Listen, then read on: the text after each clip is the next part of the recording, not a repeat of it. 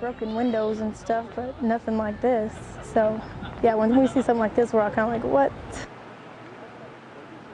Gunshots ring through the air all over Odessa tonight. Police were called out to shots fired across the city this evening, even requesting DPS helicopter assistance to help them from the skies. Here's a look at where the first four shootings occurred, three of them happening off of Dixie.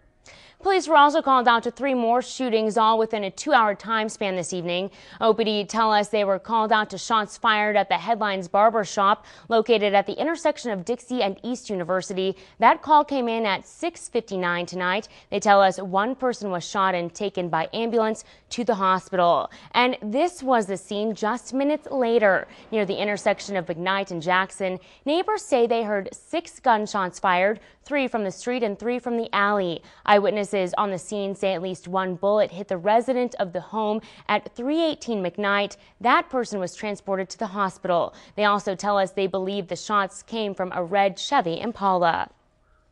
And just 30 minutes later, OPD was called to this scene, responding to a call of a drive-by shooting at 1425 South Washington. Police on the scene tell us the woman who lived there was transported to the hospital with a non-life-threatening injury to her arm. Investigators are still on that scene.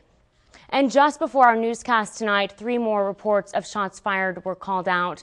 The first in the 1800 block of Lincoln, where police are on the scene, and minutes later, a second call was made to 46th Street and Locust. Odessa police report that five to six shots were heard there. Police also confirmed that they were working a shots fired call in the 3700 block of North Everglade. Neighbors there tell us there was a swarm of cops picking up shell casings. Again, these calls came in just before 10 o'clock tonight. We are working right now to get more information about all of them.